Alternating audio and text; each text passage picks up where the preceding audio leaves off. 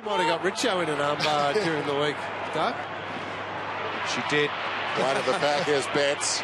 After the football, Dangerfield went down. Loose ball eventually trickles out to Mitchell. Ricochets off Jenkins. Brilliant by Dangerfield, accelerating through. Oh. How about that? Oh. Wow. A whole town, a whole state is on its feet. What a marvellous goal. He's a he's a champion player. Big moments. They needed a goal and just took a little bit of skill there, Lingy, And the contact as well, as he was being oh. kicked. on the burst. That is genius. I was talking about Adelaide, not Geelong, too. So what about his start, Dangerfield? Yeah. Seven disposals. He's a a remarkable goal. He's a star and they needed that.